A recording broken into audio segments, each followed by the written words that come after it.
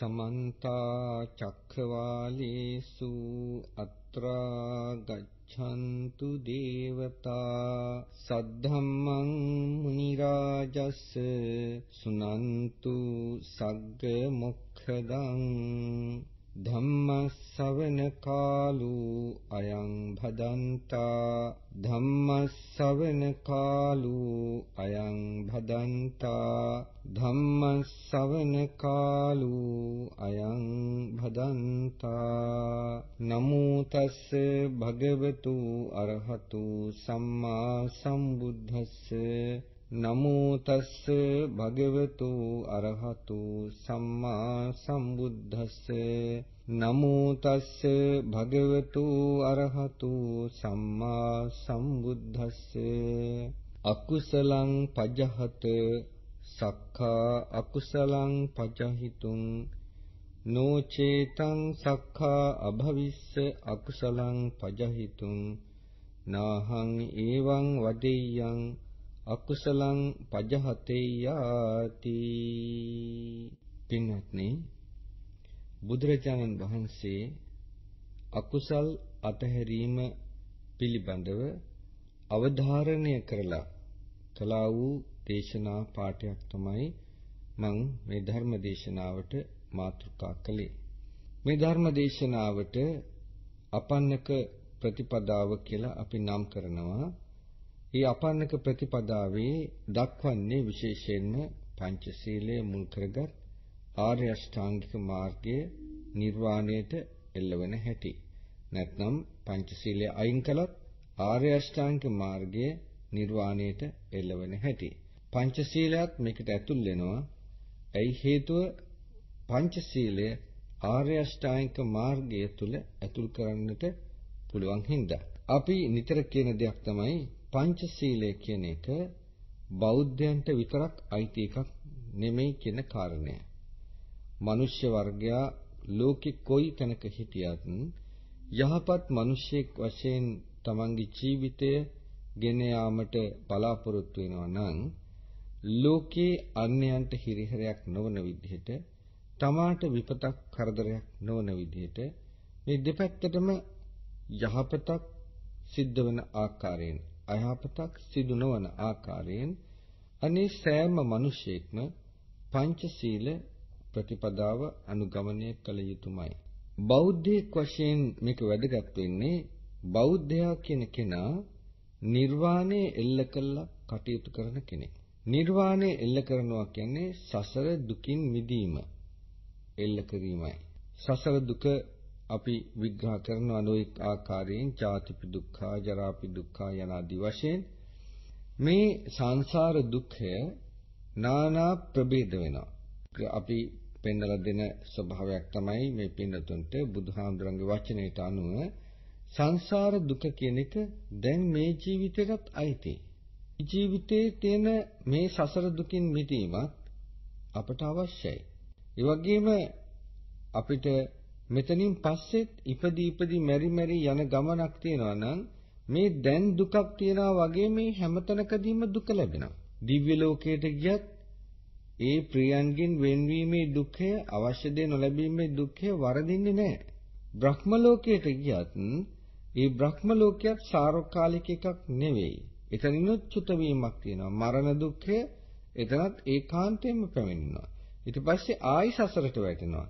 එකින්ද යම් දුකක් විඳිනවා නම් ඒ ඉපදි ඉපදි මැරි යන ගමනේ අනිවාර්යයෙන්ම අපට දුකට මුහුණ දෙන්න සිද්ධ වෙනවා. ඒ නිසා ඉපදි ඉපදි මැරි මැරි යන තාක්කල් කවදාවත් දුකෙන් මිදීමක් නැහැ.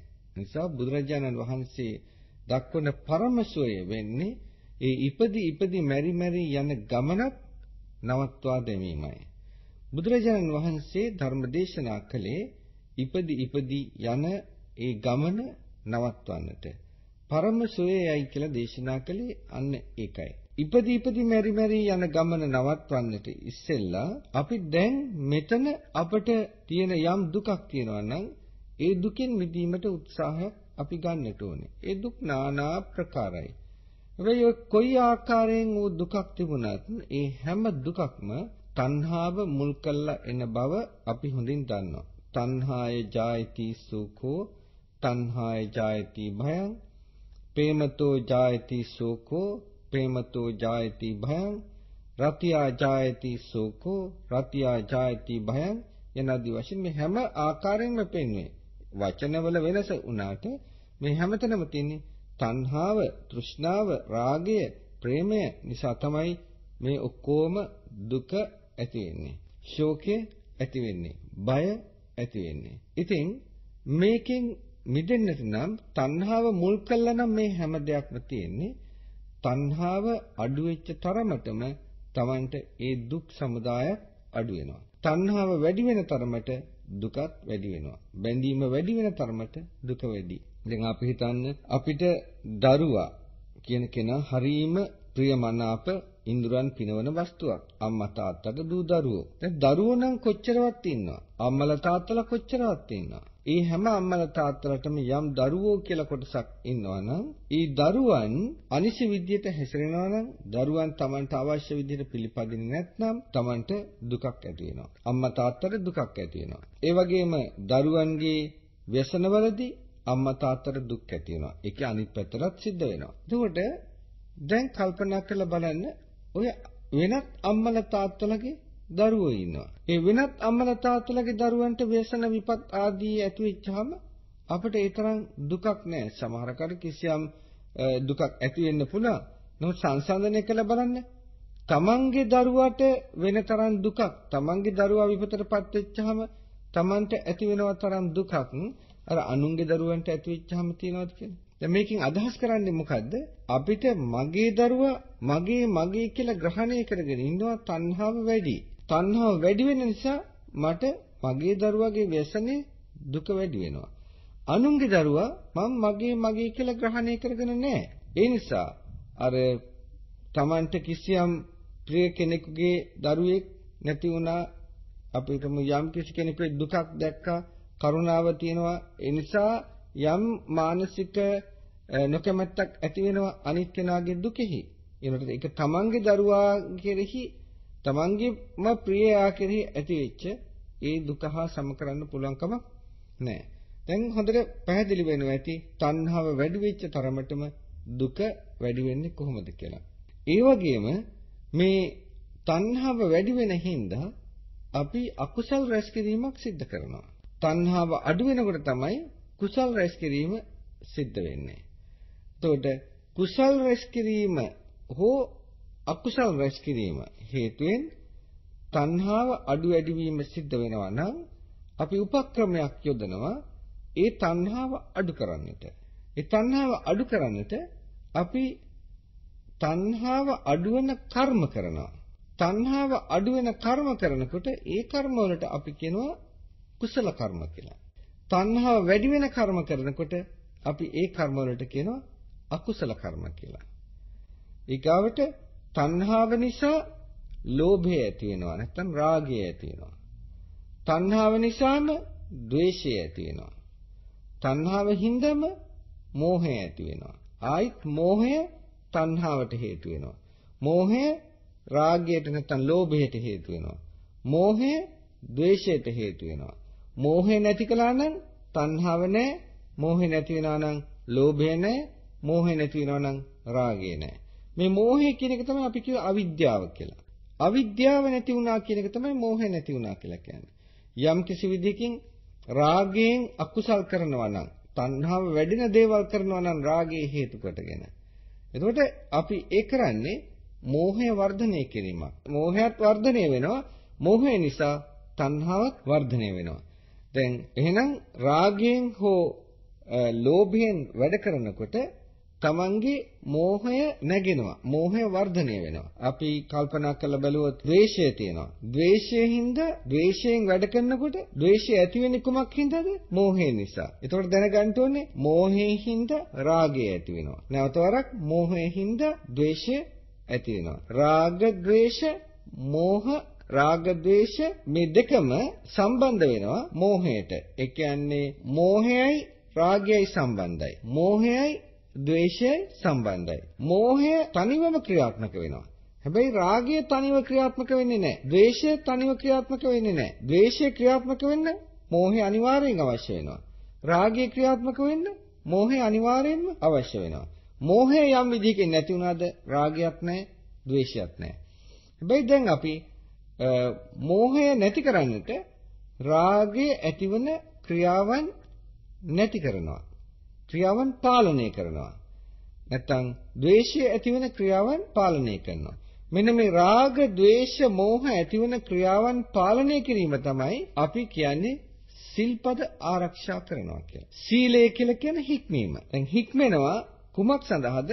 මෙන්න මේ අකුසලයන් පහ කිරීම පිණිස අකුසල ශක්තිය දුරු කිරීම පිණිස. ඒක කළ යුතුම දෙයක්. යම් කෙනෙක් සුවයක් සැපයක් බලාපොරොත්තු වෙනවා නම් ලෞකික සැපයක් බලාපොරොත්තු වෙනවා හෝ ලෝකෝත්තර සැපයක් බලාපොරොත්තු වෙනවා හෝ යම් සැපයක් බලාපොරොත්තු වෙනවා නම් එයා අනිවාර්යෙන්ම කරන්න ඕන දේ තමයි අකුසල් අයින් කිරීම. ඉතින් ඒ නිසායි බුදුරජාණන් වහන්සේ දේශනා කළේ අකුසලම් භික්කවේ පජහත මහණෙනි අකුසල් අතහරින්න අකුසල් දුරු කරන්න සක්කා අකුසලම් පජහිතුන් පුළුවන් මේ අකුසල් අතහරිනවා කියන එක කරන්න. ඒක බැරි දෙයක් නෙමෙයි. නොචේතං සක්කා අභවිස්ස අකුසලම් පජහිතුන් යම් විදියකින් අකුසල් අතහරින්නට බැහැ කියලා එකක් තියෙනවා නම් නාහං එවං වදෙය්‍යං මම මේ විදියට කියන්නේ නැහැ. කුමක්ද? අකුසලම් පජහත යති. අකුසල් අතහරින්නට කියලා. ඒ වගේම අනිත් පැත්තට කියනවා සක්කා කුසලං භාවේතුම් මහණෙනි කුසල් වඩන්න පුළුවන්. නොචේතං සක්කා අභවිස්ස කුසලං භාවේතුම් මහණෙනි කුසල් වඩන්නට බෑ කියලා එකක් තියෙනවා නම් නාහං එවං වදෙය්‍යං මම මෙහෙම කියන්නේ නෑ. කොහොමද? කුසලම් භාවෙය්‍යාථාති කුසල් වඩන්නට කියලා. දැන් බලන්න ඊටාම අවධාරණය කළා තියෙනවා.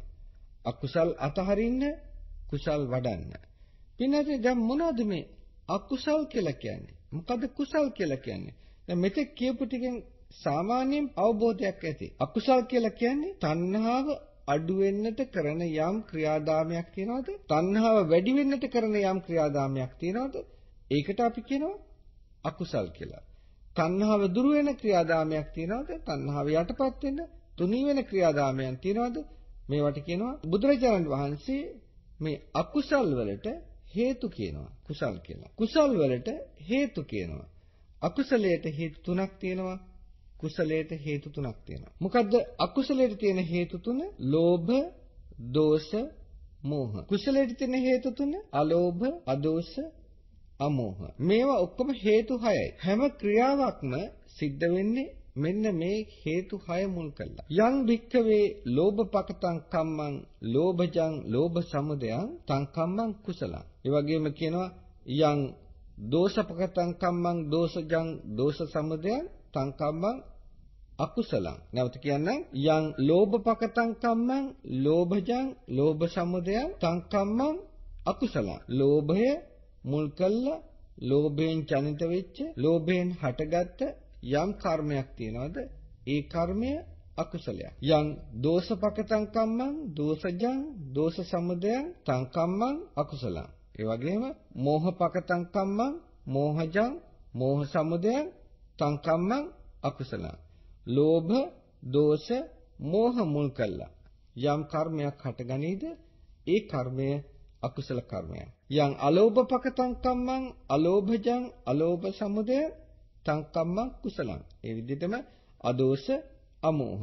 අලෝභ අදෝෂ අමෝහ මුල් කළා යම් කර්ම හටගත්තා නම් ඒ කර්ම කුසල කර්ම.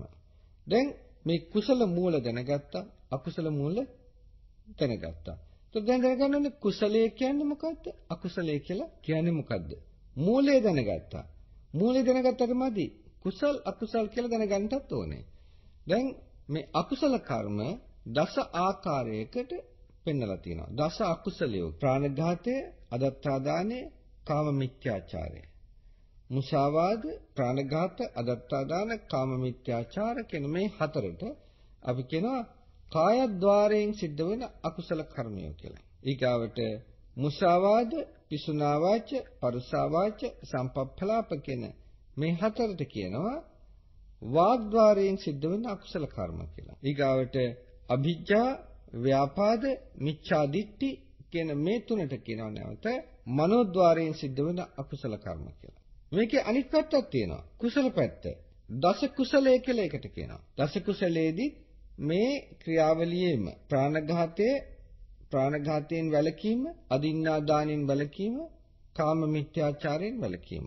ඒක කායද්්වාරයේ කුසල කර්ම. මුසාවාදයෙන් වැළකීම, පිසුනා වාචයෙන්, පරුසා වාචයෙන්, සම්පප්පලාපයෙන් වැළකීම මේක වාග්ද්වාරයෙන් වෙන කුසල කර්මය. ඒ වැළකීම. ඊගාවට අනභිජ්ජා, අව්‍යාපාද, සම්මාදිට්ඨිය කියන මෙන්න මේ තුන කුසල පක්ෂයේ මනෝද්වාරයෙන් වෙන කර්ම. දැන් අපි අකුසල දස අකුසලයන් අතහරින්න ඕනේ. දස කුසලයන් වඩන්න ඕනේ. පින්වත්නි දැන් 10ක් පෙන්නවා. මේ 10ක් පෙන්වා වගේම පංචශීලයට මේක සම්බන්ධ වෙන්නේ කොහොමද? දැන් අපි කිව්වා පංචශීලය බෞද්ධයටත් සම්බන්ධයි අබෞද්ධයටත් සම්බන්ධයි කියලා. කොහොමද බෞද්ධයට සම්බන්ධ වෙන්නේ? මොකද මිච්ඡා දිට්ඨි කියන එක සාමාන්‍යයෙන් අර ගැඹුරු තත්වයට යනකොට කර්ම කර්මඵල විශ්වාසයක් නැත්නම් ඒ වගේම අනිත්‍ය දුක්ඛ අනාත්ම කියන ලෝක ස්වභාවය නිට්ටයයි සුඛයි ආත්මයි කියලා ගත්තනම් ඒක තමයි මිච්ඡා දිට්ඨි කියලා කියන්නේ. අනිච්චේ නිච්ච සංඤිනෝ දුක්ඛේච සුඛ සංඤිනෝ අනත්තන චාත්තානි මේ අනිත්‍ය දුක්ඛ අනාත්ම කියන මේ ත්‍රිලක්ෂණය නිට්ටයයි සුඛයි ආත්මයි කියලා ගත්තනම් ඒ සත්වයෝ ඒ සත්වයෝ ගච්ඡanti දුක්ගතින් ඒගොල්ලෝ ගතියට යනවා. ඒක බුදුහාඳුරන්ගේ බුදු වදනයි. එතකොට නিত্য දේ අනිත්‍ය දේ නিত্য වශයෙන් දුක්ඛ දේ සුඛ වශයෙන් අනාත්ම දේ අත්ත්ව වශයෙන් යමෙක් ගත්තනම් ඒතරත්ගේ ක්‍රියාදාමයේ තුල එයා කර්ම කර්මඵල විශ්වාසය ඒ කියන්නේ කුසල කර්ම අකුසල කර්ම වල විපාක දීම් පිළිබඳව එයාට පැහැදිලි අවබෝධයක් නැති වෙනවා ඒ නිසා අකුසලය කියලා කුසලය સિદ્ધ කරනවා. අපි කියමු දැන් සමහරක් වෙලාවට තමන්ගේ ආගමේ නාමයෙන් ප්‍රාණඝාතය කරනවා. එතකොට ආගමේ නාමයෙන් හින්දා හොඳයි කියලා තමන් තීරණය කරගෙන හිටියට කරන කර්මය ප්‍රාණඝාතයමයි. නමුත් දෘෂ්ටිය හේතු කොටගෙන ඒක හොඳයි කියලා හිතනවා. ආගමේ නාමයෙන් සුරාපානයත් කරනවා. ආගමේ නාමයෙන් නින්ද හොඳයි කියලා හිතාගෙන ඉන්නවා. නමුත් සුරාපානය කරනවා. සුරාපානය කිරීමක් කරන්නේ. එතකොට ඒක කොහොමදවත් හිතසුව පිණිස වෙන්නේ නැති දෙයක්. අපි බලන්න ඕනේ ආගමේ නාමයෙන් කිරීම නෙමෙයි. අපි බලන්න ඕනේ මේ කරන ක්‍රියාව අනුන්ට හිතසුව පිණිස පවතිනවද? අපි හිතමු අනුන්ට හිතසුව පිණිස පවතින්නේ නැත්නම් අනුන්ට සැපේ පිණිස පවතින්නේ නැත්නම් අනුන්ගේ යහපත පිණිස පවතින්නේ නැත්නම් එහෙනම් එතනම තියෙනවා Tamanටත් ඒක යහපත පිණිස පවතින්නේ නැහැ. සමහර කාට අනුන්ට දුක් දීලා Tamanට ලොකු ධනයක් ගන්න පුළුවන් වෙයි. ධනය ලැබීම නෙමෙයි මෙතන කියන Tamanට වෙන යහපත.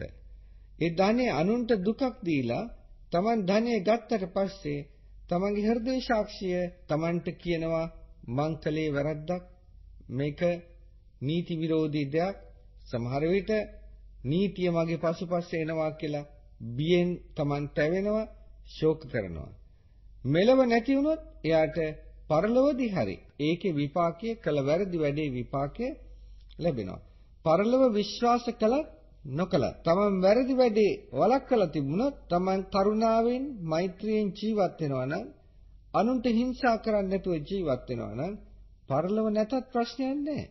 පරලොව තිබුණත් ප්‍රශ්නයක් නැහැ.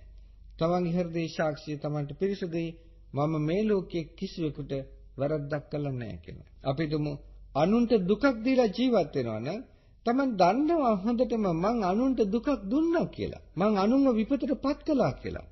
නිසා කොච්චර ගැලවෙන්න හැදුවත් මතු පිටින් තමන් ඒකට පැලැස්තර දාගෙන අර කරපු වැරද්ද යටපත් කරන්න හැදුවත් තමන්ගේ අභ්‍යන්තරයේ දන්නවා මං අනුන්ට දුකක් දුන්නා කියලා.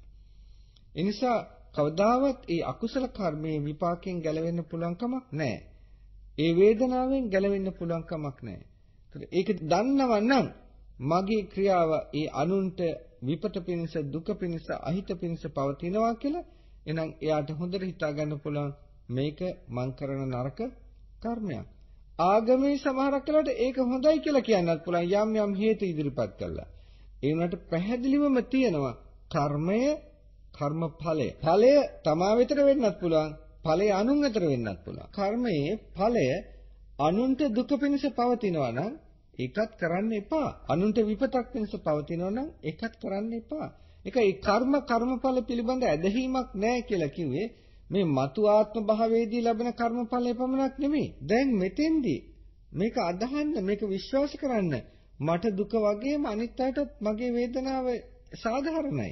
මට යම් වේදනාවක් ඇති වෙච්චහම මට යමක් අහිතක් යමෙක් අහිතක් කරපුවාම මට කරදරයක් කරපුවාම ඒක මට චිත්ත පීඩනයක් සඳහා මට දුකක් සඳහා හේතු වෙනවා වගේම එවැනි ක්‍රියාවල් අනිත් අයටත් කුරා කූඹියාටත් ඒක ඒ විදිහටම සිද්ධ වෙනවා.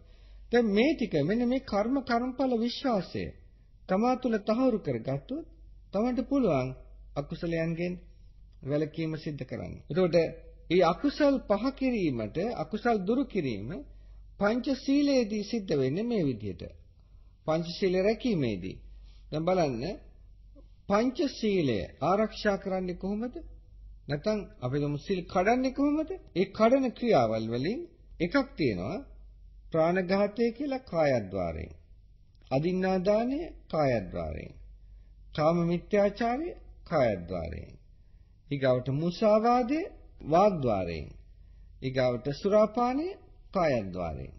දැන් බලන්න එදිනෙදා ජීවිතේ ගත කරන කෙනාට මේක හොඳට පැහැදිලි වෙලා තියෙනවා වාග්ද්වාරයෙන් එකයි කායද්්වාරයෙන් හතරයි හැබැයි මනෝද්වාරයෙන් මොකක්වත් නැහැ නමුත් මේ ක්‍රියා සඳහා Taman යම්කිසි කලින් සිතලා මතලා කටයුතු කිරීමක් තියනවාද? එතකොට ඒ කියන්නේ ඒ ක්‍රියාව කරන්න ඉස්සෙල්ලා Taman මානසින් ඒ ක්‍රියාව කරලා තියෙනවා. අපි තුමු මිනිහෙක් මරන්න කියලා.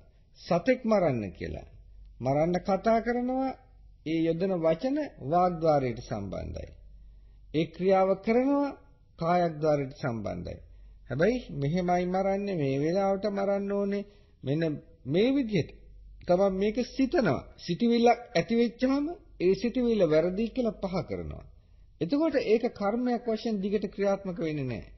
හැබැයි පාපී සිතවිල්ල නැවත නැවත මේක කරන්න ඕනේ කියලා එක දිගට වර්ධනය කරගෙන වර්ධනය කරගෙන යනවනම් ඒක තමයි කරෝති කම්මං කරෝති කායේන වාචාය මනසා. මනසෙනුත් තමන් ඒ කර්මය කරනවා. එතකොට සොරකම් කිරීම සම්බන්ධයෙන්වත් එහෙමයි. සොරකම තමන් පැත්තකට වෙලා කොහොමද මේක කරන්නේ කරන්නේ කියා ඒක පිළිබඳව මූලිකව පසුබිම හදනකොට තමන් කරන පිළිවෙල සකස් කරනකොට හිතනකොට ඒක නැවත නැවත හිතනවා නම් දිගින් දිගටම ඒක මනෝ කර්මයට සම්බන්ධ වෙනවා. පංච දුෂ්චරිතයේදීම ඔක්කොම සිද්ධ වෙනවා. දැන් තේරුම් ගත යුතු දෙයක් තමයි මේ කර්මය කරන්න පුද්ගලයා කවුද? පුද්ගලයා බෞද්ධයේද? කවුද බෞද්ධයා කියලා කියන්නේ? බෞද්ධයා කියනකොට නමෝ තස්ස භගවතු අරහතු සම්මා සම්බුද්දස්ස කියලා බුදුරජාණන් වහන්සේව ශාස්ත්‍රූත්වයෙන් බාරගත්ත කෙනා. බුදුරජාණන් වහන්සේව ශාස්ත්‍රූත්වයෙන් බාරගත්තේ බුදුහාමුදුරුව දේශනා කරපු ඒ ධර්මය, ඒ දර්ශනය පිළිගැනීම හින්දායි. ඒ දර්ශනය පිළිගත්තා. මොකක්ද දර්ශනය? සබ්බේ සංඛාරා අනිච්චා සබ්බේ සංඛාරා දුක්ඛා සබ්බේ ධම්මා අනාත්තා සියලු සංස්කාරයන් අනිත්‍යයි සියලු සංස්කාරයන් දුකයි සියලු ධර්මයෝ අනාත්මයි කියලා බුදුරජාණන් වහන්සේ දේශනා කළා. ඒ වගේම මේ අනුසාරයෙන් ඒවත් තහවුරු කරන්නට ලෝක ස්වභාවය පෙන්නලා ධර්ම දේශනා කළා තියෙනවා. ඉතින් මේක තහවුරු කරගෙන ලෝක ස්වභාවයට මේක දාලා. ඒ කියන්නේ කොහොමද? දැන් සියලු සංස්කාරයන් අනිත්‍යයි කිව්වා. සංස්කාරයන් අනිත්‍ය වුණාට මට ප්‍රශ්නයක් නැහැ. මගෙන් බාහිර සංස්කාරයන් අනිත්‍ය වුණා නම් මට ප්‍රශ්නයක් නැහැ. මට ඒක දුක වෙන්නේ කොහොමද? ඒ බාහිර සංස්කාර වලට මම තණ්හාවෙන් ඇලිලා තියෙනවා. ඒ මොකද්ද මේ සංස්කාර කියලා කියන්නේ?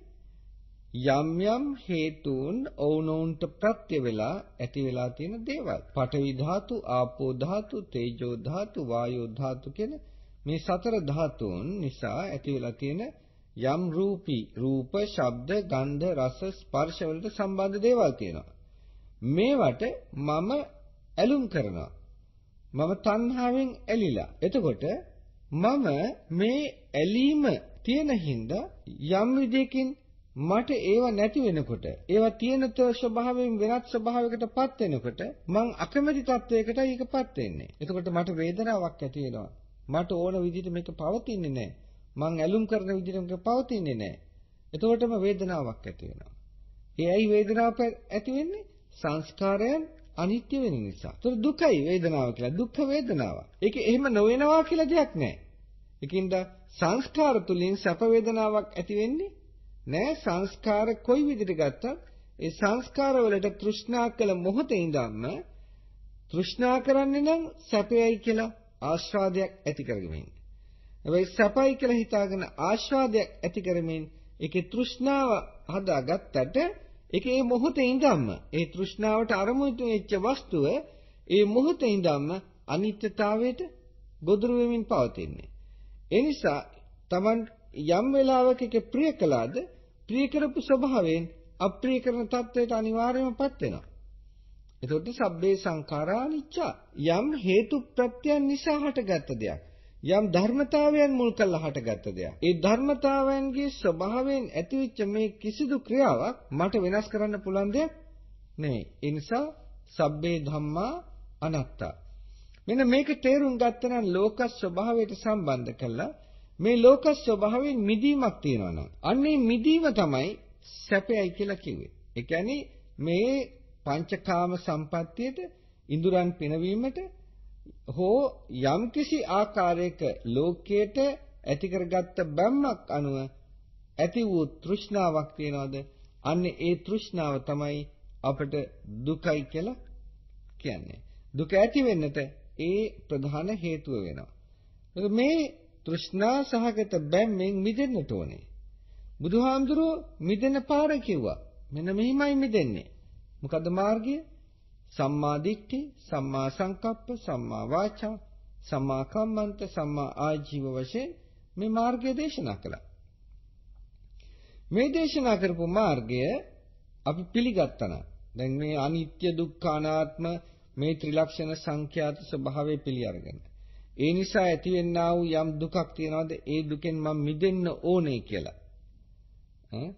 දුකක් තියෙනවා දුක ඒ දුක ඇති වෙන්න හේතුවක් තියෙනවා තෘෂ්ණාවෙන් ග්‍රහණය කිරීම. ඒතර ඒ දුකෙන් මම මිදෙන්න ඕනේ කිව්වනම් මිදෙන්න මාර්ගයක් තියෙනවා ආර්ය අෂ්ටාංගික මාර්ගය. ඒ සම්මාදිට්ඨිය ආදී කොටගත් ඒ ආර්ය අෂ්ටාංගික මාර්ගය සම්මාදිට්ඨියෙන් පටන් අරගෙන සම්මා සති සම්මා සමාධි වලින් අවසන් වෙන මේ ආර්ය අෂ්ටාංගික මාර්ගයේ මාර්ගයේ බව තමන් බාර ගන්නවා. මොකද හේතුව ඒ මාර්ගය බුදුහාමුදුරුවෝ කිව්ව හින්දා බාර ගන්න ඕනේ නැහැ. ඒ බුදුහාමුදුරුවෝ දේශනා කරපු ඒ මාර්ගය දිහා බලන්න විමසිල්ලෙන්. ඒ විමසිල්ලෙන් බැලීම ඕනෑම කෙනෙකුට කරන්න පුළුවන්. දැන් අපි තුමු අපි බෞද්ධයෝ. ජේසුස් වහන්සේගේ යම් දර්ශනයක් තියෙනවද? ඒ දර්ශනය දිහා විමසලා බැලුවට කමක් නැහැ. ඈ මුස්ලිම් ආගමේ යම් දර්ශනයක් තියෙනවද? විමසලා බැලුවට කමක් නැහැ. හැබැයි ඔක්කොම විමසලා බලන්න ඕනේ බුදුහාමුදුර බෞද්ධයෙක් නම් ඔක්කොටම ඉස්සෙල්ලා බුදුහාමුදුරන්ගේ දර්ශනය හොඳට තේරුම් ගන්න ඕනේ. බුදුහාමුදුරන්ගේ දර්ශනයේ තේරුම් අරගෙන ඉවර වෙලා අන්‍ය දර්ශන පිළිබඳව විමසුවට කිසි වැරැද්දක් වෙන්නේ නැහැ.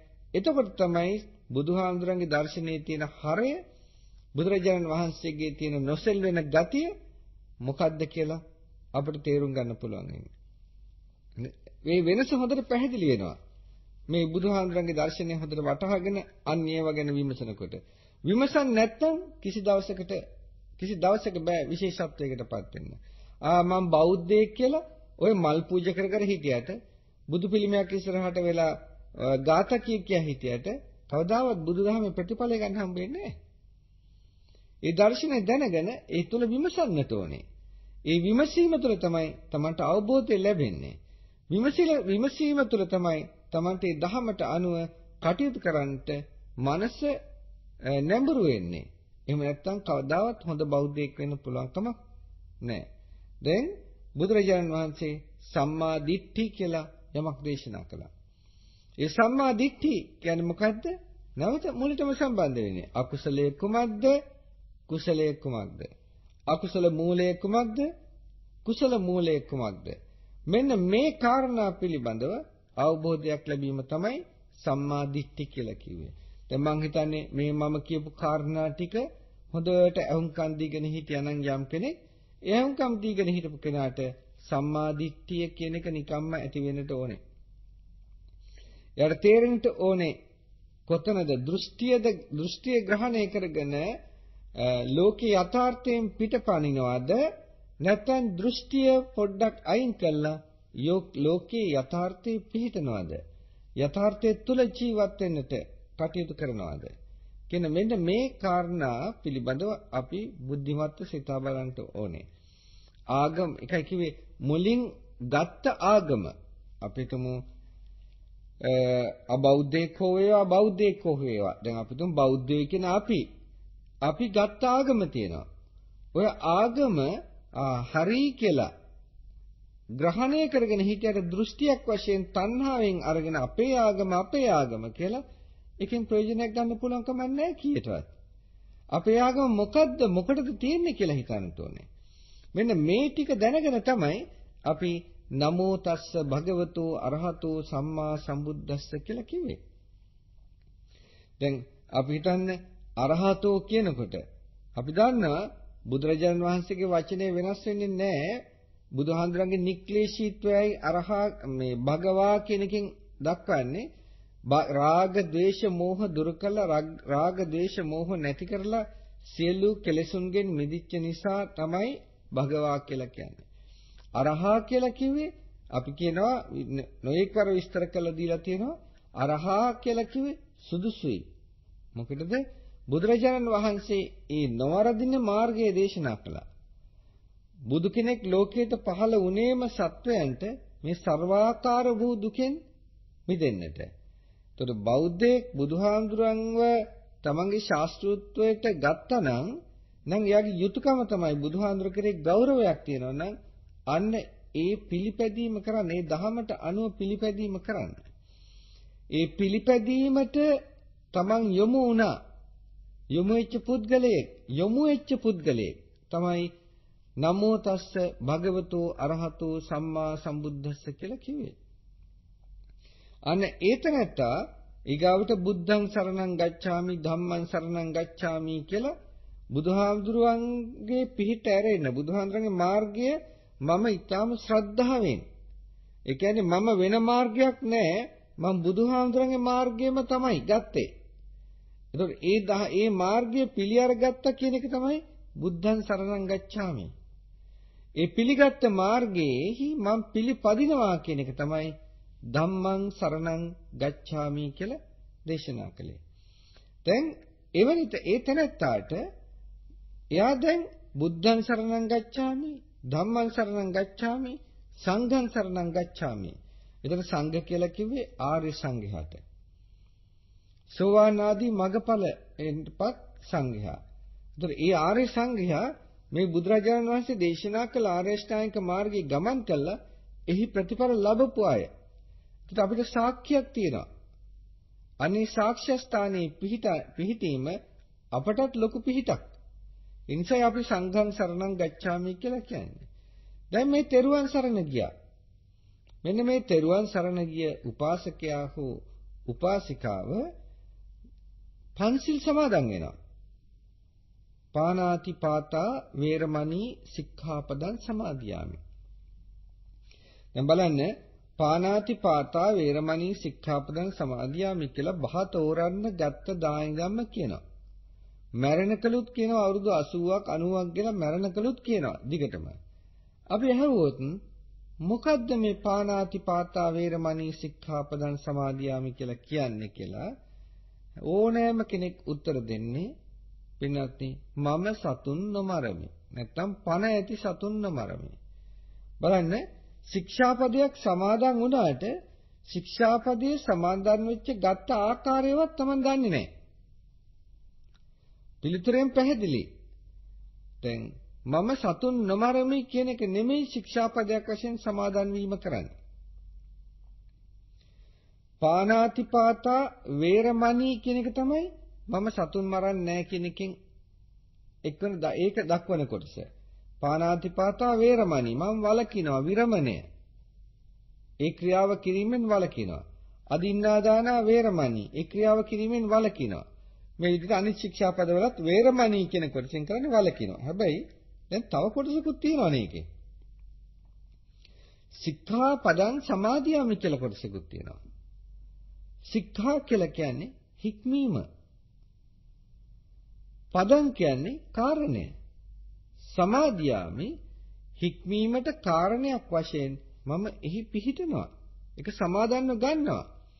දැන් අපිටම මම පානාති පාතා වේරමණී සික්ඛාපදං සමාදියාමි කියනවා. වලකිනවා. හැබැයි තේරුම දන්නේ වලකිනවා කියන එක විතරයි. ඒතර දැන් එයා සමාදන් වෙලා ඉන්න අතරේදී Tamanට ටිකක් කරදරයක් කියලා හිතන සර්පෙක් එහෙම එනවා. සර්පයා ආපු වෙලාවට ශික්ෂාපදයේ කොහේයිද දන්නේ නැහැ. ශික්ෂාපදයේ පැත්තකින් තියලා අයියෝ සිල් ගත්තට කොහොමද මේ වෙලාවේ විසකුරු සර්පයා ඉතින් අතාරින්න බෑනේ මරන්න ඕනේනේ කියලා ආ විසකුරු සර්පයාට ඒ සර්පයාගේ ජීවිතය නැති කරනවා. දැන් කොහොමද සමාදන් වුණාද? පිනත් සමාදන් වුණා කියලා කියන්නේ ඒ ක්‍රියාව කරන්න ආපු වෙලාවට ඒ ක්‍රියාව නොකරන්නට තමන්ගේ මනස පිහිටුවා ගැනීමක් තමයි සික්ඛාපදං සමාදියාමි කියන එක කරන්නේ. මොකද මාව මම හික්මවනවා. වැරද්ද කරන්න ආපු වෙලාවට මම වැරද්ද නොකරන්නට මා විසින්ම මාව හික්මවා ගන්නවා අර සිල්පදයේ සමාදන් වීමෙන්. නැත්තම් නිකම් වේරමණී වේරමණී කිය කැඳීමක් නෙමෙයි. දැන් සුරාපානය කරන ඇත්තෝ හැමදාම දැන් ඕනෑම වෙලාවක කියනවා ආ මං හෙට ඉඳන් නවත්තනවා. අද ඉඳන් නවත්තනවා. හෙටත් කියනවා හෙට ඉඳන් අද ඉඳන් නවත්තනවා. අනිද්දාටත් කියනවා අද ඉඳන් නවත්තනවා. මම ලබන මාසේ ඉඳන් නවත්තනවා. අපි තුමු දැන් ජනවාරි මාසේ පළවෙනිදා එහෙම එනකොට කියනවා මම මේ අවුරුද්දේ මුලින් ඉඳන්ම නවත්තනවා බොන එක. හැමදාම ජනවාරි මාසේ පළවෙනිදා ඉඳන් නවත්තනවා. ටික දවසකට මම ලබන පළවෙනිදා නවත්තනවා. මොකද හේතුව අර සමාදන් වෙනවා කියන එක දන්නේ නැහැ මොකද්ද කියලා. පින්වත්නි දැන් කරන දේ දැන් ක්‍රියාවෙහි යෙදෙන දේ නොකරන්ට අදිෂ්ඨාන කරලා ඒක නැවත නැවත කරන්නට යෙදෙනවා නම් අවස්ථාවන් ඒ අවස්ථාවල් වලදී මම මේක කරන්නේ නැති වෙන්නට මගේ මනස හදා ගැනීම තමයි ශික්ෂාපද සමාදන් වීමෙන් කරන්නේ. දැන් ඒ සමාදන් වීම තුළ Tamanට එකක් අදිෂ්ඨානය වර්ධනය කරනවා. අදිෂ්ඨානෙ නැත්තම් මේක කරන්න පුළුවන් කමක් නැහැ. ඒතර ඒ අදිෂ්ඨානය ඔස්සේම වීරය එනවා. මේක කරන්න ඕනේ කොහොම හරි වැලකීම කරන්න ඕනේ නොමර ඉන්නට ඕනේ. ඒකට උත්සාහ ගන්නවා වීරිය කරනවා. ඒතකොට දැන් අදිෂ්ඨානය තමයි ශ්‍රද්ධා. මට කරන්න පුළුවන් මම කොහොම හරි කරනවා. ශ්‍රද්ධා. ඒකල විරිය. ඉතින් මම සිල්පද සමාදන් වෙලා ඉන්න කෙනෙක්. ඒක සිහිය සති. ඒ සතිය කැඩෙන්න දෙන්නේ නැහැ. ජීවිතේ පුරාම පවත්වන පවත්වමින් ඉන්නවා. එතකොට සති සමාධි ඒ සමාධියත් එක්කලා පඤ්ඤා. වෙනත් සති සමාධි දෙක එක් අවස්ථාවක ගොඩ නැගෙනවා. හැබැයි ඊට ඉස්සෙල්ලා සද්ධා, විරිය, සති. මේ සද්ධා, විරිය, සති තුනේ තමයි අපේ එදිනදා ජීවිතේ කරකෙන්නේ. සතිය කැඩිච්ච ගමන් වීරියක් නැහැ, ශ්‍රද්ධාවක් නැහැ. ඒ කියන්නේ තමයි තමා පිළිබඳ තියෙන විශ්වාසයක් නැති වෙනවා. විශ්වාසය නැති වෙච්ච ගමන් සතියක් නැහැ, තමන්ට වීරියක් නැහැ. මේ මේ කරුණු තුන එකට එකට සම්බන්ධයි. ඒ කරුණු තුන වෙන් කරන්න පුළුවන් කමක් නැහැ. එකක් කැඩුණොත් අනිත් එකක් නැහැ. හැබැයි සමා ඒ තුන කරන්නට එක්තරා විදිහක ප්‍රඥාවක් අවශ්‍යයි. ඒ නිසා ඒ තුනට ප්‍රඥාවත් සම්බන්ධ වෙලා තියෙනවා. එක්තරා ආකාරයකින් ප්‍රඥාව නැත්තම් සම්මා ඒ කියන්නේ හරියටම ඒ කියලා තියෙන අදිෂ්ඨානය කියන අදිෂ්ඨානය මුල් කරගත්ත ඒ ශ්‍රද්ධාව නැති වෙනවා ප්‍රඥාව නැත්තම්. ඒ වගේම විරිය කොහේ ආයිත් දන්නේ ප්‍රඥාව නැත්තම් මොකට විරිය කරයිද දන්නේ ඊට පස්සේ. ප්‍රඥාව නැති වෙච්චාම. ඊගාවට ප්‍රඥාව නැති වෙච්ච ගමන් සිහිය පාපයේ පැත්තට නැඹුරු වෙනවා මිසක් කුසලයේ පැත්තට නැඹුරු වෙන්නේ නෑ. තමන්ගේ වාසියට නම් හොඳට සිහි කරගනි. නමුත් තමන්ගේ වීරිය වඩ අදිෂ්ඨානය කෙරෙහි වීරිය ඉදිරියට ගෙනියන්නට සිහියෙන් කටයුතු කිරීම කෙරෙන්නේ නැහැ. නිසා ප්‍රඥාව සම්බන්ධයි. එතකොට ඒවා ඒ හතරම එකට ක්‍රියාත්මක වෙලා එනකොට තමයි ඒක යම් වෙලාවක Tamanට මනසේ පිරිසිදුකම තහවුරු වෙච්චාම මේ ක්‍රියාවල් වල වැළකීමෙන් එතකොට එයාට අන්න චිත්ත සමාධිය කියන එක ඇති වෙනවා. ඒ සමාධිය ඇතිවීමම එයාට සමාහිතෝ යථා භූතං පජානාති. ඒ සමාධිය ඇතිවීමෙන් යථා භූත ඥානය කියන්නේ ඇත්ත ඇති සැටියෙන් වැටහෙනවා. අනේ මට මේක වැටහෙන්නේ කොහොමද කියලා තර්ක කිරීමක් වාද කිරීමක් නැහැ. ඒක සිත සිතයිනේ නැහැ. වැටහීම නිකම්ම එනවා. ඒක සමාහිත වීමේ ලක්ෂණයයි. එතකොට ඒක උත්සාහයෙන් කරන දෙයක් නෙමෙයි. ඒ වැටහීම ලබා ගැනීම යථාභූත ඥානෙ ලබා ගැනීම. දැන් බලන්නට තව පැත්තක් බලන්න තියෙනවා මේකේ. කොහොමද මේක ආර්ය දස කුසලයට වැටෙන්නේ? ආර්ය අෂ්ටාංගික මාර්ගයට වැටෙන්නේ. පංචශීලයේ සමාදන් වීම. දැන් ඔන්න අපිටම දස කුසලයට එනකොට ප්‍රාණඝාතය, අදත්තා දාන, කාම මිත්‍යාචාර. දැන් පංචශීලය කියන්නේ මුසාවාදේ විතරයි. පිස්සුනාවාච, පරුසාවාච, සම්පප්පලාප ඒක නෑ. පංචිල් වල. ඒ වුණාට දැන් පුද්ගලයා නමෝ තස්ස භගවතෝ අරහතෝ සම්මා සම්බුද්දස්ස කියලා බුද්ධං සරණං ගච්ඡාමි ධම්මං සරණං ගච්ඡාමි සංඝං සරණං ගච්ඡාමි කියලා. බුදුරජාණන් වහන්සේගේ ආර්ය අෂ්ටාංගික මාර්ගය බාරගත් කෙනෙක්. බුදුරජාණන් වහන්සේගේ ආර්ය අෂ්ටාංගික මාර්ගය බාරගත් තැනැත්තාට එයා දැනගන්න ඕනේ ආර්ය අෂ්ටාංගික මාර්ගය මොකක්ද කියලා. මොන බලන්න සම්මා දිට්ඨි, සම්මා සංකප්ප, සම්මා වාචා. සම්මා කම්මන්ත, සම්මා ආජීව, සම්මා වායාම. සම්මා සති සම්මා සමාධි.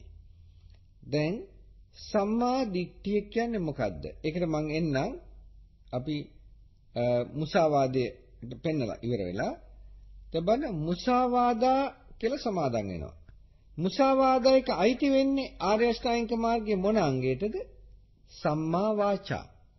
දැන් ඔන්න බලන්න සම්මා වාචා කියන එක බුදුහාමුදුරු විග්‍රහ කරලා තියෙනවා. මොකද සම්මා වාචා කියන්නේ? ආරේෂ්ඨායික මාර්ගයේහි පිවිසි කෙනෙකුට නම් එයාට සම්මා වාචා කියලා කියන්නේ මුසාවාදා වේරමණී කතමංචාවසෝ සම්මා වාචා මුසාවාදා වේරමණී පිසුනා වාචා වේරමණී පරුසා වාචා වේරමණී සම්පප්පලාපා වේරමණී දැන් පුද්ගලයා ආරේෂ්ඨායික මාර්ගයේ යන කෙනෙක් නම් එයාට මුසාවාදා කියලා සමාදන් වුණාට මුසාවාදා කියලා සමාදන් වෙනකොටම අන්න අර මාර්ග ඒ අංග තුනම අංග හතරම එතන තියෙනවා. හැබැයි සමාදන් වෙන්නේ මුසාවාදා වේරමණී කියලා. අනිවාර්යයෙන්ම ආර්යශ්‍රායනික මාර්ගයේ අනිත් ක්‍රියාදාමයන් ටික හරියට සිද්ධ වෙනකොට පිස්සුනාවාච පරුසාවාච සම්පප්පලාප කියන මේවායින් සිද්ධ වෙන යම් කිසි අපායගාමීත්වයක් තියෙනවනම් ඒ අපායගාමීත්වය අනිවාර්යයෙන්ම අයින් වෙනවා. ඇයි? සම්මා දිට්ඨි බලන්න සම්මාදිට්ඨිය කියලා කිව්වේ මොකද්ද? අපි කලින් කිව්වා කුසල් අකුසල් පිළිබඳ දැනීම. එහෙනම් සම්මාදිට්ඨිය පිහිටි කෙනා කුසල් අකුසල් පිළිබඳව දන්නවා නම් එයාගේ වීරිය නැත්නම් වායාමය සම්මා වායාම. සම්මා වායාම කියලා කියන්නේ මොකද්ද? තමන් කරන අකුසලයන් අයින් කළා කුසල් වර්ධනය කරන්නට කරන ව්‍යායාමය. ඒ උත්සාහය. දැන් පන්සිල් රකින්න කෙනා ප්‍රාණඝාතයෙන් වළකිනවා. වළකිනවා. වළකින්න ව්‍යායාම කරන්න ඕනේ. ප්‍රාණඝාතය සිද්ධ වෙන්නේ කුමක් නිසාද? අකුසල මූලයන් නිසා. මොනවාද අකුසල මුල්? රාග, ద్వේෂ, මෝහ. Tamanට ඇහැ පිනවීමේ කැමැත්ත තියෙනවා. කන පිනවීමේ කැමැත්ත. දිව පිනවීමේ කැමැත්ත. නාසය පිනවීමේ කැමැත්ත. ශරීරය පිනවීමේ කැමැත්ත. සමහර දෙනාට ප්‍රාණඝාතය කරනකොට හරි සතුටුයි. ඒ සතාගේ වේදනාව බල බල ඉන්න එකත් සතුටුයි. ඇයි පින්වත්නි ඔය මේ පින්නතුන් සමහරට කියලා ඇති කියවලා ඇති එඩ්ගා කේසි කියන ඒ එක්තරා ඇමරිකාවේ 1920 ගණන් වල ජීවත් වෙච්ච කෙනෙක්. එයා ස්වයං මෝහණයටපත් වෙලා අනුන්ට ඇතිවෙච්ච රෝගවලට ප්‍රතිකර්ම කළා. ඒ ප්‍රතිකර්ම කරද්දී හුඟක් වෙලාවට එයා යනවා අතීත භවයන්ට. එක තරුණියක් එයාට ලියුකේමියා රෝගය හැදිලා. දැන් ඒකට මේ එඩ්ගා කේසි මහත්මාව හොයාගෙන ගිය වෙලාවේදී ප්‍රතිකර්ම ගන්න එයා කිව්වේ මේක සනීප කරන්න බෑ කියලා. මේක කර්ම වේගයක් කියලා. අතීතයට ගියා. යනකොට එයා කිව්වා මෙන්න මේ කාරණේ නිසායි මේක ඇති වෙලා තියෙන්නේ. රෝග නිධානයට ගියා. අපේ අද වෛද්‍යවරු කියන්නේ දැන් නිධානයට යනවනේ. මේ වෛද්‍යවරයා අතීත කර්ම නිධානයට යනවා. එයා කියනවා ඔබ අතීතයේදී තමන් හොඳ රාජකුමාරිකාවක් වෙලා ඉඳලා එයාගේ තියෙන එයා එයාගේ තියෙන මේ විනෝදය තමයි විනෝද ක්‍රියාව තමයි අර තමන්ගේ හතුරන්ව ගෙන්නලා එයා සිංහයන්ට දානවා. දැන් මේ සිද්ධියේදී කියන්නේ එයාගේ පෙම්වතා එත් එක්ක ඇතිවෙච්ච අමනාපයක් හේතු කොටගෙන ඒ පෙම්වතාව මෙයාගේ බලය පාවිච්චි කරලා රාජ බලය පාවිච්චි කරලා පෙම්වතාව ගෙනල්ලා පෙම්වතාව සිංහයන් එක්කලා දැම්ම සටන් කරන්න. ඒ සිංහයෝ ලේ පෙර පෙර අරයව හූරගෙන කනවා බල බල මෙයා හරි සතුටක් භුක්ති විඳා. අන්න ඒ සතුට ඒ ඒ ක්‍රියාව කරලා ඒ සතුටු වීම හේතුවෙන් දැන් අර ලේ පෙර පෙර කනවා දැකලා වින්දනයක් ලැබුපේකම අනිත් පැත්තෙන් දැන් එයා මනුෂ්‍යත්ව භාවයක් ලැබලා හිටියත් එයාගේ ඇඟේ දැන් ලේ වතුර වෙනවා. ඒ ඒ ලේ වලට තමයි අසනීප හැදිලා තියෙන්නේ. දැන් එයා කියනවා එයා බෞද්ධයෙක් නෙමෙයි. එයා හොඳ ක්‍රිස්තු භක්ති ක්‍රිස්තියානි භක්තිමතෙක්. ඒ උනාට එයා ඒ මෝහණයටපත් වුණාට පස්සේ එයාගේ ආගම ගැන නෙමෙයි කතා කරන්නේ. එයා තනිකර දකින්න දේ කියනවා. කියනවා මෙන්න මේකයි මේ කර්මයේ විපාකයයි මේ ලැබුණේ කියලා. බුදුදහමේ හැමතිස්සෙම පෙන්වන්නේ ඔබ කර්ම කළාද ඊට අනුරූප විපාක තියෙනවා. දැන් බලන්න මේ අනුරූප විපාක ලැබිලා තියෙන හැටි. එතකොට එකයි මම කිව්වේ ප්‍රාණඝාතය කිරීම ඇස් දෙකෙන් දැක දැක ඇලුම් කරනවා සමහරු. ආස කරනවා. ඒතර ඇහැ පිනවනවා ප්‍රාණඝාතය. ඊගාවට සමහර දිනකට දුෂ්ටයාට කන් දෙකක් පිනවනවා. හරි ආසයි Tamange හතුරන් මරුණා කියලා කියපුවාම. දැන් බලන්න අපේ සමාජයේ අද වර්තමාන පසුබිම් බැලුවත් අපි හිතමු ඔන්න කොටි 3400ක් මලයි කියලා ආරංචියක් ලැබිච්ච ගමන් සිංහලයෝ කොච්චර සතුටු වෙනවද? ආ කොටි මලේ. කිසිම අනුකම්පාවක් නැහැ. බොහොම හොඳයි. බොහොම සතුටු වෙනවා. ඒ වගේම තමන්ගේ ඇත්ත සිංහලිය මලයි කියලා කිව්වොත් අයියෝ මොන අපරාධයක්ද? අපේ මිනිස්සු මැරිලා. දැන් මේ හැම දෙක මේ කාරණා දෙකෙම උනේ කොටි මැරුණයි කියලා කිව්වොත් එතන තමන්ට වින්දනයක් ලැබුණා කනට ප්‍රියමනාප දෙයක් ඇහුණා කන පිනෙව්වා. ඊගා ඒකම සිංහලයෝ මැරුණා කියලා කිව්වත් ඒකෙන් Tamanට අමනාප දෙයක් ඇහුණා ද්වේෂයක් ඇති වුණා. ඒක බලාපොරොත්තු වෙන්නේ හැමතිස්සෙම සිංහලියෝ දිනන්න ඕනේ සිංහලියෝ දිනන්න ඕනේ කියන එකයි. ඉතින් ඒක ගැන එතනින් එහාට විස්තර කරන්න මම යන්නේ නැහැ. හැබැයි ඥානවන්තයෙකුට කරන්න තියෙන්නේ මේ දෙකම දිහා බලන්න ඕනේ මධ්‍යස්තව. අනේ රටේ කෑල්ලක් කඩා ගන්න මේ මිනිස්සු මිනිමරා ගන්න හැටි. මොකද්ද මේ කරන්නේ? ඒ වගේම හිතා ගන්නට ඕනේ මේ මිනිස්සු ලෝකයේ කර්ම ස්වභාවය දන්නේ නැති නිසා ඔවුනොවුන් ඇනකොටා ගනිමින් වෙනසෙනවා.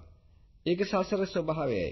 ඒ නිසා අපට මේ සසර පවත්නා තාක්කල් මෙවැනි දේවල් වලින් ගැලවෙන්න පුළුවන් කමක් නෑ. සසරේ ඉපදී ඉපදී මෙරි මෙරි යනවා නම් මේ කොච්චර බණ දැනගෙන හිටියත් යුද්ධයක් නම් රටදැය රකින්න යුද්ධ කරන්න වෙනවම තමයි ඕනෑම කෙනෙකුට.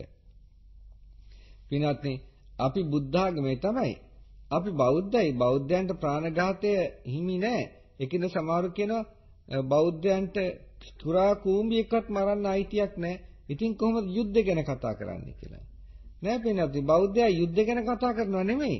බෞද්ධයා තමන්ගේ අයිතිවාසිකම් රැක ගැනීමට කතා කරනවා. බෞද්ධයෝ ගිහිලා නෑ අනුන්ගේ දේවල් පැහැර ගන්න. කවදාවත්. අනුන්ගේ දේවල් පැහැර අරගෙන මිනි මරන්න ගියේ නෑ. බෞද්ධයෙක්. නමුත් බෞද්ධයා කරන්නේ තමන්ගේ අයිති, තමන්ගේ නිජ භූමිය, තමන්ගේ ශාසනය රැක ගන්නට තමන්ගේ රටේ සදාචාරය රැක ගන්නට සටන් වැදීමයි බෞද්ධයෝ එදා කළේ බෞද්ධයෝ අද කරන්නේ ඒ දෙයමයි. නමුත් බෞද්ධ නොවන අනිත් ඇත්තෝ ඉන්නවා ලෝකේ. දැන් අපි හිතමු අපේ රටේ ගත්තොත් මේ ක්‍රියා ත්‍රස්ත ක්‍රියාදාමයන්හි යෙදී කියලා ඉන්නේ නැත්තෝ බෞද්ධයෝ නෙමෙයි ඒගොල්ලෝ අබෞද්ධයෝ. ඒගොල්ලන්ට සහයෝගය දෙන අනිත් රටවල් ඒගොල්ලොත් අබෞද්ධයෝ. ඒගොල්ලන්ට අනිත් රටවල් අල්ලා ගැනීම මිනි මැරීම ඒගොල්ලන්ට ප්‍රශ්නයක් නැහැ. සමහරකට තමන්ගේ ආගම ප්‍රචාරය කිරීමේ පරමාර්ථයෙන් නම් මිනි මරන්නේ. ඒගොල්ලන්ට දෘෂ්ටිය තියෙන. ආ ඒක හොඳ දෙයක්. එතකොට ආගම ප්‍රචාරය කරන්න කියලා තමන්ගේ ක්‍රිස්තියානි ආගම වේවා, මුස්ලිම් ආගම වේවා, Hindu ආගම වේවා ඕනෑම ආගමක අපිට අපිට බලපාන ක්‍රමයට බැලුවොත් තමන්ගේ ආගමට තමන් තියෙන ආදරයෙන් හින්දා මගේ ආගම ප්‍රචාරය කරන්න ඕනේ කියලා මම දිගින් දිගටම දිගින් දිගටම මිනි මරන්න ගියොත් එහෙම බෞද්ධයන්ව මරන්න ගියොත් එහෙම මොකද්ද වෙන්නේ? බෞද්ධ. එතකොට බෞද්ධයාට එන මේ ඇස් දෙක පියාගෙන අත් දෙක බැනගෙන හිටියොත් එහෙම බෞද්ධ ටික ඔක්කොම නැති වෙලා යනවා. බෞද්ධ රටවල ඔක්කොම නැති වෙලා යනවා. ඉතින් ඒක එහෙම බුද්ධ ධර්මයක් බුදුරජාණන් වහන්සේ දේශනා කළේ නැහැ එහෙම දර්ශනයක්. ඒ එක පැත්තක්. තමන්ගේ ඒ රට රාජ්‍යයන් ආරක්ෂා කිරීම එක පැත්තක්. හැබැයි සසර පවතින තාක්කල් ඕකෙන් ගැලවිල්ලක් නැහැ. ඉතින් අනිත් පැත්ත කරන්න තියෙන්නේ ඒක දැනගෙන අනේ මේ සසරින් මිදෙන්න ඕනේ කියලා කටයුතු කරන එකයි. දැන් අපිට පැහැදිලිව පේනවා ප්‍රාණඝාතයේ හේතු කොටගෙන කම්පිනවන්නත් පුළුවන්. ප්‍රාණඝාතයෙන් දිව පිනවන්නත් පුළුවන්. ඇයි හොඳට මරාගෙන කනකොට දිව පිනවත හැකියි. ඒ වගේම ඒව මරලා හදලා හොඳට සුවදාග්‍රහණය කරනකොට නාසයත් පිනවත හැකියි. උතර පිනවති පංචේන්ද්‍රයන්ම කොහේද අඩු ගානේ හතරක්වත් පිනවනවා. සමහරක් වෙලාවට තමන් හදට ඒක තල්ලු කරලා ඇඟිල්ලෙන් ඒකේ මෘදු බව එහෙම ස්පර්ශ කරනකොට කයත් පිනවනවා ඉබේටම. ඇහැ, කන, නාසය, දිව, ශරීරය ඔක්කොම පිනවනවා ප්‍රාණඝාතය හේතු කරගෙන. කියන පංචකාම රාගය. ඊගාවට අනුන්ගේ දේ ගැනීම හේතු කොටගෙනත් ඒකත් එහෙමයි. අනුන්ගේ දේ පෙරේ රාගය තියෙනවා. ඈ ඒක කැමැත්ත. ඊගාවට ඒ අනුන්ගේ දේ තමන්ගේ ඇස් කන්නාසාදී ඉඳුරන් පිනවන දෙයක් වෙන්න පුළුවන්. ඒතර ඒ දේ ගන්ත ඒ දේ තමන් සතු කර ගැනීමට තමන් සතු කර ගන්නට තමන් දරන සිටිවිල්ලක් ඒකත් ආදානයක් තමයි. අනුන්ගේ දේ ආදානය කිරීමක් ගැනීමක් ආදානය කරා. එතකොට එතෙන්දි තමන්ට ඊර්ෂ්‍යාව ක්‍රෝධ වෛර මාන ගාක් ඉස්සරහට යනවා. නිසා අපි නැති මේ හිතන්න එපා අදින්නාදානය කියන එක මේ අදින්නාදානයේදී අතින් ගන්න එක විතරක් කියලා. නෑ හිතින් ග්‍රහණය කිරීමත් බොහොම දරුණුයි. ඒකින්ද අනුන්ගේ දේවල් ඕනෙම නෑ. තමන්ගේ තියෙන දෙයින් තමන් සතුටු වෙන්න. අනුන්ගේ දේ ගැන හිතන්න එපා කියලා කිව්වේ ඒකයි. ඊගාවට කාමේසු මිච්ඡාචාරා. මේ කාමේසු මිච්ඡාචාරා කියලා කියනකොට කාමේසු සම්මාචාරයක් තියෙනවා. ওই නීති අනුකූල විවාහ කළා පස්කම්සෝ බින්දේ භුක්ති විඳින්නේ. ඒක කාමේසු සම්මාචාරා. පරදාර සේවනය බාලාපචාර මෙව කාමේසු මිච්ඡාචාරා. තව පැත්තක් කාමේසු මිච්ඡාචාරා පැත්තට යනකොට කරුණාව මෛත්‍රිය ඔක්කොම නැති වෙලා යනවා. දරුවොත් එපා වෙලා යනවා. භාර්යාවත් එපා වෙලා යනවා. පුදුම දුෂ්ට මානසිකත්වයක් ඇති වෙන්නේ කාම මිත්‍යාචාරයට නේද? කාම මිත්‍යාචාරය කියන්නේ කාම උන්මත්තක භාවය. එබැවින් අද සමාජයේ බැලුවොත් එහෙම අපිට හොඳට පැහැදිලිව පේන දෙයක් තමයි අපේ සමාජයේට දරුවෝ එපා වීගෙන යනවා. හා එක්කෙනයි දෙන්නයි සමහරට එක්කෙනෙක්වත් නැහැ. මේ ඔක්කොම සිද්ධ වෙන්නේ කාම මිත්‍යාචාරයේ හේතු කොටගෙනයි. පිළිගත්තත් නැතත් දරුවෝ එපා කියන සංකල්පය, දරුවන්ට ද්වේෂ කරන සංකල්පය නම් කාම මිත්‍යාචාරයේ නැත්නම් කාම උන්මත්තක භාවයේම ආදීනවයක්. ඒක කාටවත් නැහැ කියන්න බෑ පින්නත්. එතකොට මුසාවාදා බුදුහාමුදුරු දේශනා කරන්නේ මුසාවාදය කියන එක විතර අපරාධයක් තවත් නැහැ. අපි කියනවා බොරුවට විහිළුවට විහිළුවට බොරු කියනවා කියලා. පිනත් කිසිම බොරුවක විහිළුවක් නම් නැහැ. ඒක විහිළුවක් වෙන්නේ බොරු කියන කෙනාට විතරයි. බොරුව අහන කෙනාට නම් කොයි විදියකින්වත් විහිළුවක් වෙන්නේ නැහැ. බොරුව අහන කෙනා අනිවාර්යයෙන්ම රැවටෙනවා. රැවටිච්චාම මානසික පීඩනයක් ඇති වෙනවා. සමහර ලෙඩෙක් වෙන්නත් පුළුවන්. ඒ වගේම බොරුවට කියන විහිළුවෙන් බාල දරුවන් විනාශයටපත් වෙනවා. ඒ දරුවෝ නොමග යනවා. ඒ දරුවෝ ඒ බොරුව පුරුදු වෙනවා. අන්තිමට අම්මගේ තාත්තගේ විහිළුවට කියන බොරුවෙන් රැවටෙන දරුවා පසු කාලයකදී අම්මා තාත්තා දෙන්නම රවටනවා. ඒ දරුවා අම්මා තාත්තා දෙන්න රවටන්නට යෑම දරුවාගේ ජීවිතය අවදානම් තත්වයකටපත් වෙනවා. ඈ තරුණ වයසටපත් වෙනකොට අම්මා තාත්තලා රවට්ටලා ඕන වැරදි වැඩක් කරන්න දරුවා පෙළඹෙනවා. ඊගාවට සුරාවේ ආදීනව වෙනම පෙන්වන්න පුළුවන් පින්නත් නේ. සුරාව නිසා සමාජය කොයිතරම් විනාශයටපත් වෙනවද කියන එක. සුරාවෙන් ලැබෙන වින්දනය හේතු කොටගෙන විනාශයටම විනාශයටම යනවා පුද්ගලයා දන්නේම නැතුව. ආර්ථික වශයෙන් විනාශ වෙනවා, සමාජික වශයෙන් විනාශ වෙනවා, දරු පවුල් පිටින් වෙනසලා යනවා. මේ කාරණා වෙනමම විග්‍රහ කරලා කියන්න ඕනේ. අයි බලාපොරොත්තු වෙනවා මේ පින්නතුන්ට වෙනමම විග්‍රහයක් මේ සුරාව හා දුම්බැටිය පිළිබඳව පෙන්වලා දෙන්නට වෙනම වෙනමම දේශනාවකින්.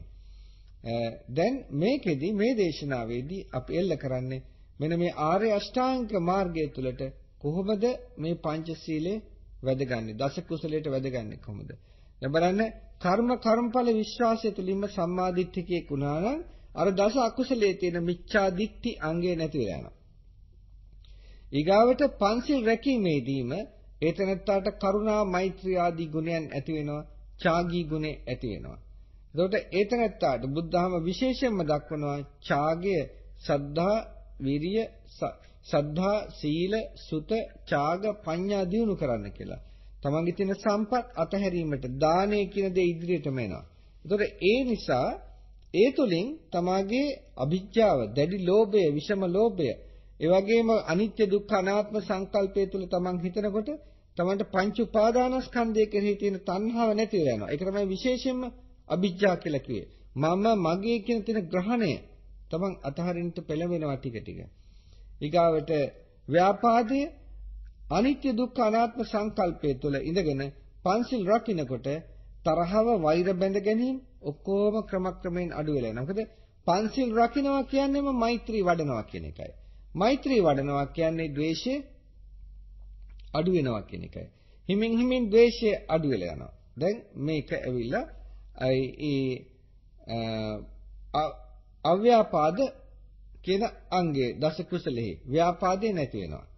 එතකොට දැන් බලන්න ප්‍රාණඝාත, අදත්තාදාන, කාම මිත්‍යාචාරය. මුසාවාද, පිසුනාවාච, පරුසාවාච. මුසාවාදත් එක්කලම අර ආර්ය අෂ්ටාංගික මාර්ගයේ ඉඳලා කේලමක් කිව්වත් ඒ කේලම අනුන්ව බිඳ යම්කිසි කෙනෙකුව හදන්නට වරද්දෙන් මුදවන්නට අනුන්ට ගිහිලා මෙයා මේ වැරද්දක් කළා කියලා කියනවා මිසක් ඔවුනොන් බිඳවීමේ අපේක්ෂාව නැහැ අර ආර්ය ශ්‍රාණික මාර්ගයේ පිහිටි කෙනාට.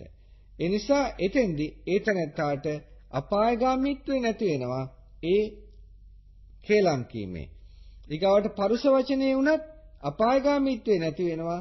මොකද එයා එයා හොඳට පිහිටලා ඉන්නවා. Tamante තියෙන සීලය තුල ඒ නිසා එයාගේ තියෙන ඒ මානසිකත්වයට අපායගාමීත්වේ නැති වෙනවා. ඊගාවට පිසුනාවාච ආර්ය අෂ්ටාංගික මාර්ගයේ කටයුතු කරන ඇත්තෝ හිස් වචන කියන්නේ නැහැ. සාමාන්‍යයෙන් අපිටම උදාහරණයක් ගත්තොත් විහිළුවට බොරුවක් කියනවා.